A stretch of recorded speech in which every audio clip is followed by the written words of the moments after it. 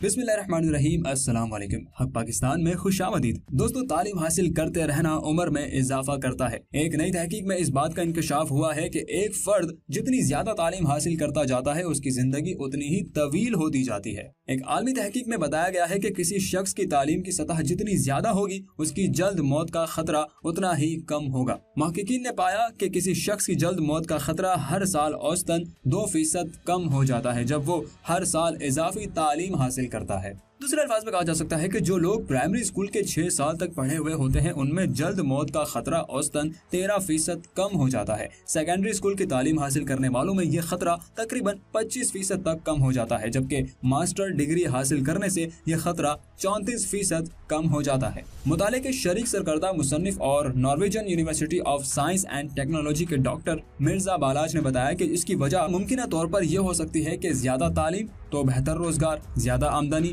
सेहत की देखभाल तक बेहतर रसाई और सेहत का बेहतर तरीके से ख्याल रखना। दोस्तों, वीडियो में इतना ही। इस वीडियो को ज़्यादा से ज़्यादा शेयर कीजिए। कमेंट सेक्शन में अपनी कीमती राय से आगाज़ ज़रूर कीजिए। फिर हाजिर होंगे एक और नई वीडियो के साथ। तब तक अपना और अपने प्यारों का भरपूर ख्याल रखिए। अल्लाह हाफिज।